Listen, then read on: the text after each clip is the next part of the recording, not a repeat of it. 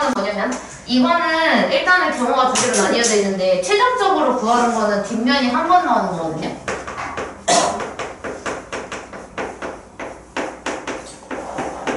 근데 얘가 몇 번 중에 한 번인 건지를 찾아야 되는데 몇 번 중에 한 번인지가 달라져. 첫 번째 경우는 내가 일단은 제일 먼저 하는 행동이 주사위를 던지는 건데 주사위를 던져서 홀수가 나올 건지 짝수가 나올 건지에 따라서 경우가 달라져요. 그래서 이게 구분을 먼저 해야 되고요. 그럼 홀수가 나오면 어떻게 되는지를 쭉 보면은 자 일단 근데 홀수가 나올 확률이 얼마야? 주사위를 던져서 홀수가 나올 확률은 몇 분의 몇? 분의 1, 5, 아니 잠깐만 1, 3, 5, 3개 그러니까 2분의 1이긴 한데 홀수하면 짝수니까 2분의 1이긴 한데 그래서 우리가 주사위 던지면 홀수가 나올 확률이 2분의 1이니까 일단 홀수가 나올 확률 2분의 1을 먼저 적어주셔야 돼요. 이거 누락하면 바로 답이 틀려가지고 근데 2분의 1을 먼저 하고 자 그 다음에 나온 그 순간 어떻게 하냐면 홀수가 나온 순간 얘는 동전을 4번 던진대요. 어디 써 있냐면 제일 첫 번째 줄 제일 끝에 보면은 동전 한 개를 4번 던진다라고 써 있어요. 홀수가 나오면. 그럼 동전을 4번 던지는데 이 순간 제가 어떻게 할 거냐면 뒷면이 한 번 나오게 만들 겁니다. 그리고 그 다음 문장 보면 짝수가 나오면 동전을 3번 던져요. 이렇게 상황 정리를 조금 했어. 자, 그럼 우리가 홀수가 나와서 이제 2분의 1을 하면 홀수가 나온 거야. 그럼 짝수가 나오는 것도 2분의 1일 거 아니야. 그래서 얘가 짝수가 날 확률도 2분의 1일 예정이에요. 자, 이제 내가 지금 홀짝을 보라색으로 해놓은 거고 동전 던지는 거를 제가 다른 색깔로 써드릴게요. 노란색으로. 잠깐만. 아, 쓸데없는 한우 광고였고요. 고기 광고였네. 그래서 우리가 동전을 던지는데 네 번을 던져. 자, 동전을 네 번 던지는데 뒷면이 한 번 나와. 근데 뒷면이 날 확률은 얼마인데? 동전 던져서? 한번 아니, 뒷면 날 확률이 얼마냐고. 2분의 1 2분의 1이죠. 그러니까 동전을 던지면 당연히 앞뒤고 세우는 거 생각하지 마, 제발. 세, 세, 세우는 것까지 3분의 1입니다. 이러지 마시고요. 그래서 우리가 2분의 1이니까, 그러면 내가 네 번 중에 동전 뒷면이 한 번 나왔다. 그래서 뒷면 나올 확률인 2분의 1이 한 번, 그리고 그거의 반대 확률인 2분의 1이 세 번 나왔다라고 식을 세우겠죠. 그럼 동전 세 번일 때는 어떻게 써야, 써야 돼, 여기다가? 동전 세 번 중에 뒷면이 한 번 나오는 거니까 뭘로 시작해? 혹시 어, 세 번 중에 뒷면이 한 번 나왔다. 그런데 그 더 나오는 확률이 2분의 1인데 한 번 나왔고, 반대 확률이 몇 번? 두 번 두 번 나왔다. 이렇게 세워주면 돼요. 이거 계산하면 끝이에요. 그래서 이거 계산해 주시면 2분의 1 곱하기 4시 얼마냐? 4 곱하기 2분의 1 곱하기 8분의 1 이고요. 자, 그 다음에 여기 계산하면 2분의 1 곱하기 3 곱하기 2분의 1 곱하기 4분의 1 그리고 얘는 약분되는 게 없거든요. 얘는 약분되는 게 없어서 16분의 3. 그 다음에 얘는 약분되는 게 있는데 다 하는 것보다 어차피 얘가 분모가 16이니까 16을 살리는 게 좋아서 그래서 2, 2, 4 빠지면 약분을 해주시면 얘는 16분의 2예요. 이렇게 둔 이유는 뭐냐면 얘네 둘을 더할 것이기 때문입니다. 왜냐면 주사위를 던지면 홀수하고 짝수 중에 한 가지가 나오는 거기 때문에 얘랑 얘 중에 한 가지가 나와요. 근데 내가 얘기했지만 동시에 일어나는 거는 곱하기를 하지만 곱하기를 하지만 따로따로 일어나는 경우는 더하기를 하기 때문에 마지막에는 16분의 2와 16분의 3을 더해서 16분의 5까지입니다. 이렇게. 문제는 보통 이제 물풀때 어려움을 느끼는 제일 큰 원인이 뭐냐면 문제 해석이 되지 않아서가 제일 크긴 하거든요. 그러니까 뭘 해야 될지를 파악하지 못해서가 제일 큰데 극복하는 방법은 문제를 많이 풀어보는 거예요.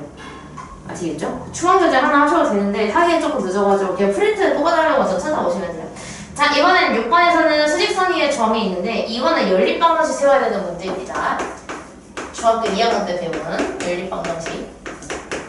그리고 우리가 많이 쓰고 있는 실제 그저 고기 수학에서 많이 쓰고 있는 연립방정식. 자 일단은 어떻게 할 거냐면 이게 어렵게 느껴지는 이유는 하는 행동이 두 가지라서 그래.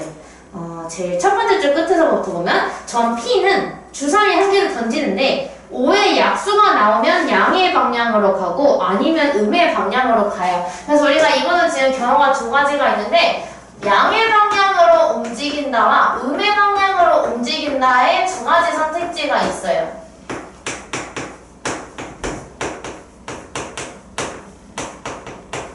아, 근데 우리가 이거를 몇 번을 움직여야 될지 모르거든요. 그러니까 지금 마지막 줄 보면은 네 번 던진다고 했으니까 양의 방향으로 갈지 음의 방향으로 갈지 얘가 네 번을 선택을 해야 돼. 근데 양의 방향으로 세 번 가고 음의 방향으로 한 번 가고 그거를 몰라. 몇 번 몇 번 가는지를 몰라. 그래서 구해줘야 되거든요. 그래서 우리가 이거는 양의 방향으로 가는 거를 x, 음의 방향으로 가는 거를 y라고 잡고서 식을 세워야 돼요. 식을 세우면 어떻게 되냐면 첫 번째로 나와 있는 힌트가 뭐냐면 거기 제일 마지막 줄에 총 4번 던진다야. 그러면 내가 양의 방향으로 가는 횟수와 음의 방향으로 가는 횟수를 더해주게 되면 내가 총 4번 하니까 둘을 더해서 4가 돼야 돼요.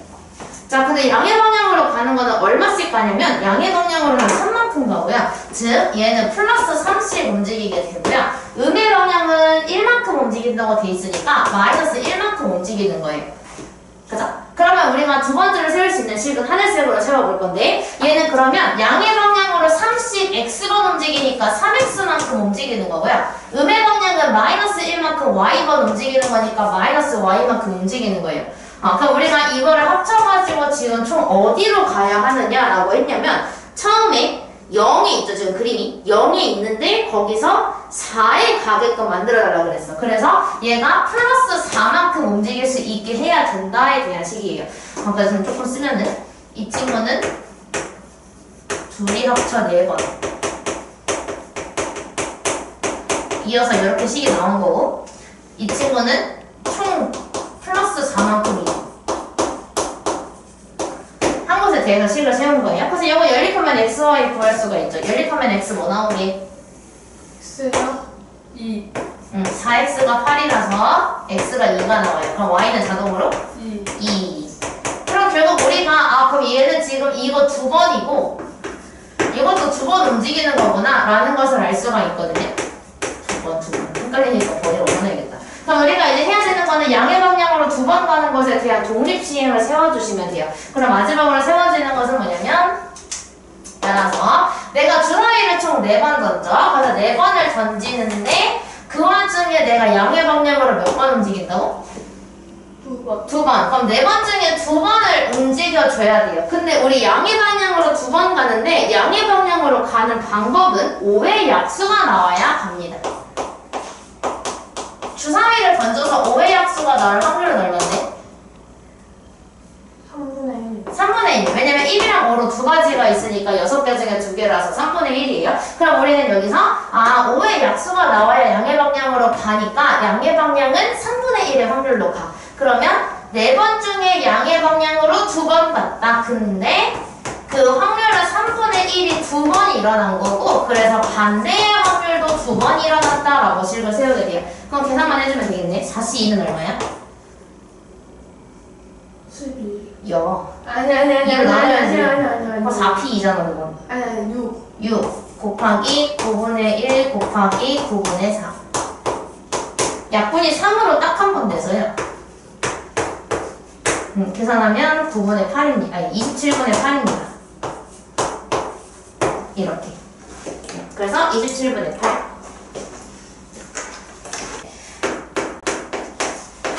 여기서 확률 전략을 만들 때는 그냥 우리가 예를 들어서 하나를 내가 만들면 그러니까 그 확률 만들겠다는 게 아니라 지금 얘가 1학년 학생을 몇 명 뽑을지를 모르는데 지금 두 명이랑 네 명으로 총 여섯 명이 있잖아요. 근데 거기에서 두 명을 뽑아가지고 1학년 수를 궁금해해. 근데 우리가 만약에 1학년이 0명이랑 한 명이랑 두명 중에 몇 명으로 할까?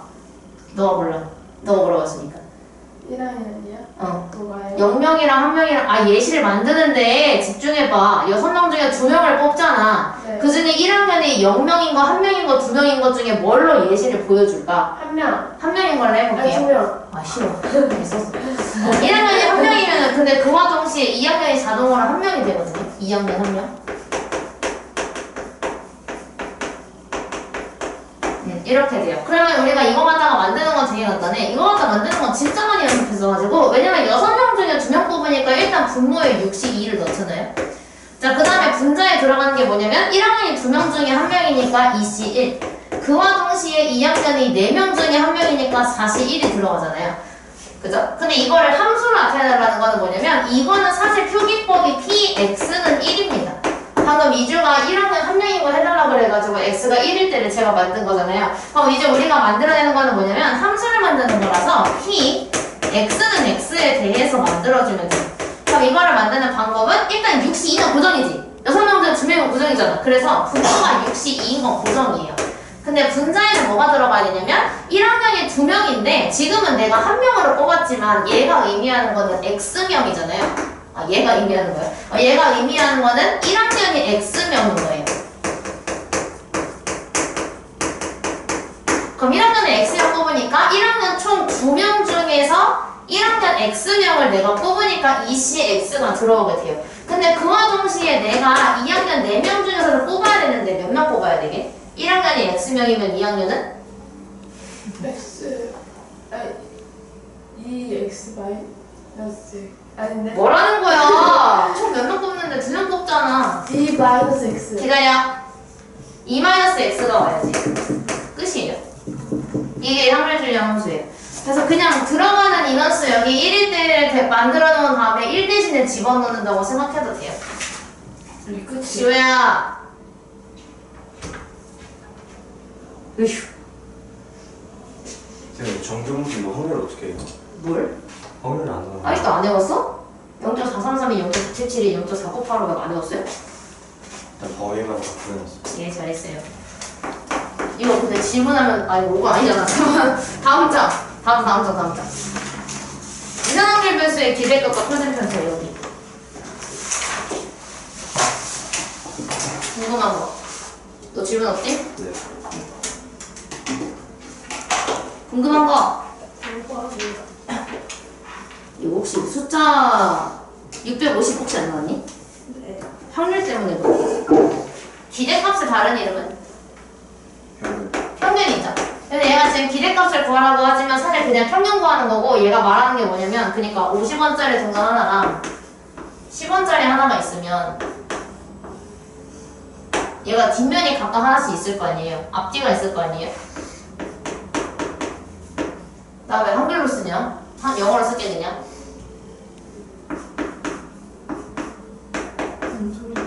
H가 앞면이고 T가 뭐가? 우엉하는 거? 이거 청소기 소리인데 미친 같아. 유치에 뭐가 있는데요? 나도 몰라. 센서 칭칭 금요일에는 나 여기 혼자 앉아있는데 자꾸 뭐라 하지? 막 띠, 띠, 막 이런 기계음 들리는데 나 진짜 미치는 줄 알았어. 나 노이로 줄 알았어. 진짜 혼자 여기 앉아서 일어나서 자꾸 이렇게 이러다 보면은 띠, 띠 이렇게 소리가 들어가는데 들어오는데 아, 나 진짜 여기 못 있겠어가지고 하루 종일 금요일에 일어났는데 아, 진짜 스트레스 너무 나서 심지어 끝나고 연습 부장님이랑 같이 야근하고 있었는데 여기서 했거든. 근데 이 띠띠 소리가 제가 아파가지고 잘못 들리고 있는 게 아니라 진짜 들리는 게 맞죠? 라고 내가 물어볼 정도였어. 나만 들리는 걸 수 있잖아. 왜냐면 수업하는 애들 다 금요일 우리 월급만 썼댔는데 그때는 다들 아무 이상 없는데 난 들렸거든? 근데 아 근데 그게 수업하는 듣는 너희 입장에서는 그런데 나는 조용할 때도 계속 그 들리는 걸 알고 있으니까 내가 수업하면서 들리는 거야 내가 말 안 할 때 띠 그래가지고. 아, 근데 그게 뭔 소리인지 모르겠고 청소 소리는 자주 들려. 근데 이게 어디, 어디서 나는 건지 모르겠어. 팬들이 지금 쓰리는 거 같고 위에서 그런 거 같더라. 궁금하다 어쨌든 그렇습니다. 자, 그래서 우리가 이거는 앞뒤, 앞뒤를 약자를 딴 건데, 하린이가 알려줬어요. head랑 tail이래요. 전혀 몰랐고. 이렇게 만든 다음에, 어, 여기에서 이제 우리가 만들 수 있는 게 그러면, 얘가 앞면이 나오는 동전이 몇 개인지를 보고서 앞면이 나온 만큼 내가 포인트를 받아. 그럼 내가 받을 수 있는 포인트를 x라고 한다고 했으니까, x에 대해서 확률 분포표를 만들 거예요. 이렇게. 음, 아래가 분수가 들어가니까 좀 더 길면 좋겠죠? 그래서 x를 하는데 그럼 내가 일단 얼마 받을 수 있어?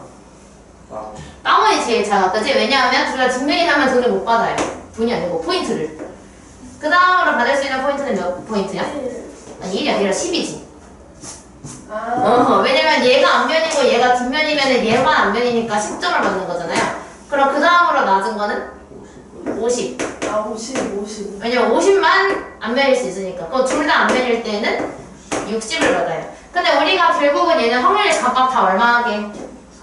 4분. 4분의 1이야. 왜냐하면 얘가 0원을 받으려면 둘 다 뒷면 뒷면인 건데 얘네 둘을 같이 넣는 거는 이제 4분의 1이죠. 10원 받는 것도 D 앞으로 한 가지니까 4분의 1. 얘도 4분의 1, 얘도 4분의 1이에요.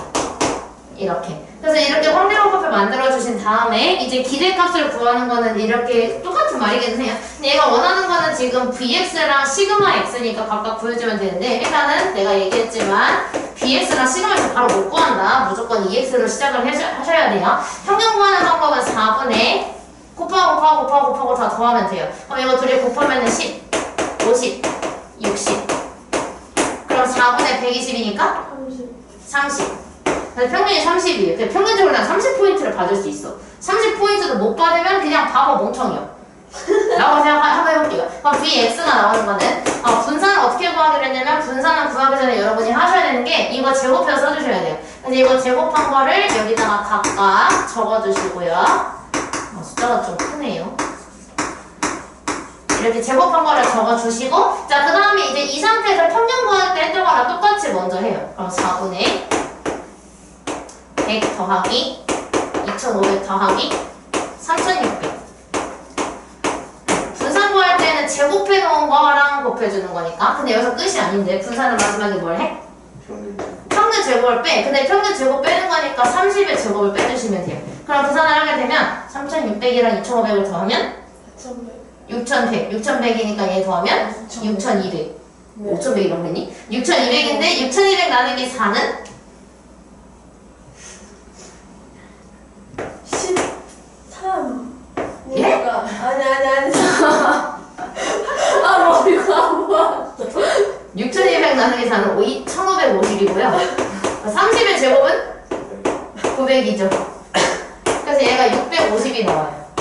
근데 분산이 650이에요. 그럼 시그마 x는 결국은 650에다가 루트를 씌운 거니까 루트 650인데 이대로 쓰시면 안 되고 꺼낼 수 있으면 꺼내야죠. 이거 5로 꺼낼 수 있거든요. 근데 5로 먼저 꺼내면 26. 26이 되겠다. 두 번이나 여섯 번. 음, 그 이거 더 못 나와요. 2 곱하기 13이니까. 이렇게까지 꺼내는 것도 해주셔야 돼요. 식감이 없어. 이항분포를 정규분포로 바꾸는 걸 그럼 안 들었어 너. 정규분포 배운 다음에 이항분포랑 정규분포의 관계를 배우는데 그것까지 다 듣고 왔어야 돼. 고평균과 추정 전까지 오늘 밤 하는 거였으니까. 이거 정규분포로 바꿔야 되는데 여기서 이항분포에서 얘가 의미하는 건 뭐야?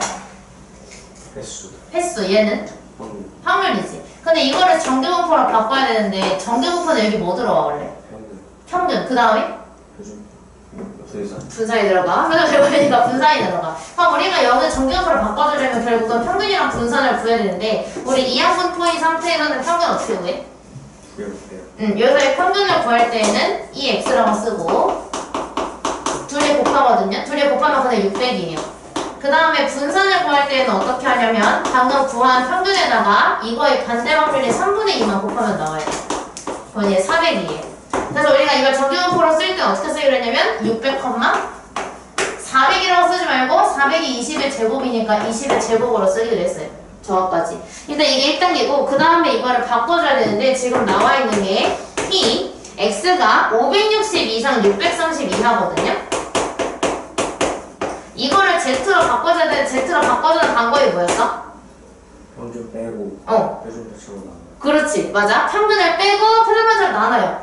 2주랑 할게요. 560 빼기 600 마이너스 40. 나누기 20 어, 마이너스 40 나누기 21 마이너스 2. 그렇게 하는 거야. 아. 기억이 났니? 네. 어, 그렇게 해야 되고 그럼 이제 여기에 들어가는 거는 얘는 그럼 마이너스 2로 바뀌어서 들어가요. 마이너스 2 그리고 가운데는 x가 아니라 Z로 바뀌고요.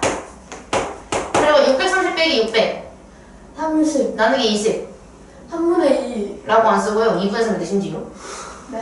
2분의 3이기는 해. 3분의 2는 아니야. 아, 그러네. 그리고 소수로 써야 돼요. 왜냐면 정규분포에 분수 없어요. 그래서 이거 소수로 써야 되고 부호 실수 안 하게 조심하셔야 돼요. 자, 그 다음에 여기다가 그림을 하나만 그리자면 이제 어떻게 하기로 했었냐면 이 상태로 만들어주고 우리가 표준 정규분포 하는 당연히 여기가 0이어서요. 얘가 마이너스 2부터 1.5까지면 마이너스 2는 당연히 0보다 왼쪽에 있으니까 여기 어딘가 마이너스 2가 있을 거다. 그리고 얘가 1.5는 2보다는 가까이 있겠죠? 1.5가. 이렇게. 근데 얘가 마이너스 2랑 1.5 사이니까 내가 그때 얘기했다시피 확률의 넓이를 구하는 거고 그럼 여기에 넓이하고 여기에 넓이를 구해서 더해주면 돼요. 근데 이거를 표를 보고 찾아야 되는데 지금 표가 없으신 거거든요. 근데 여러분도 알고 있겠지만 0.15까지는 0.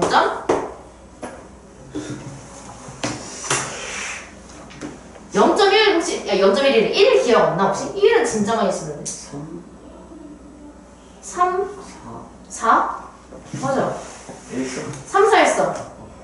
어떻게 알겠지? 오, 그럼 1.5는 기억 안 나? 이거 진짜 많이 썼는데.